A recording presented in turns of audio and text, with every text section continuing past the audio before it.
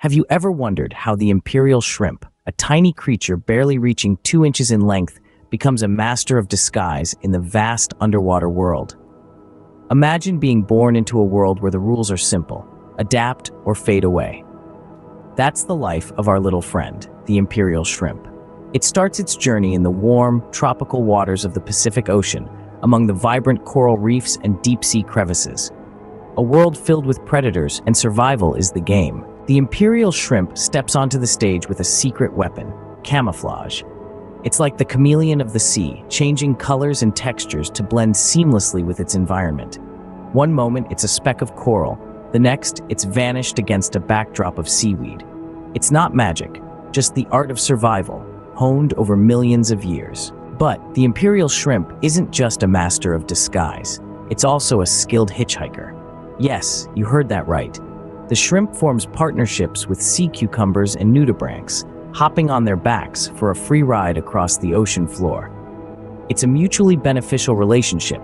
The shrimp gets transportation and protection, while its host enjoys a personal grooming service. Life in the ocean is a symphony of relationships, and the imperial shrimp plays its part to perfection. It's a tiny creature with a big heart, living each day in harmony with its environment and its companions. But the real magic of the imperial shrimp lies in its resilience. It's a survivor, adapting to the challenges of the ocean with courage and ingenuity. From mastering the art of camouflage to hitching a ride on a sea cucumber, the shrimp shows us that size doesn't define strength, and every creature has a role to play in the grand scheme of life. In a world that's two-thirds water, the imperial shrimp is a tiny testament to the wonders of adaptation and survival. It's a creature that's small in size, but big on survival, proving that in the vast ocean, even the smallest creatures can make the biggest waves.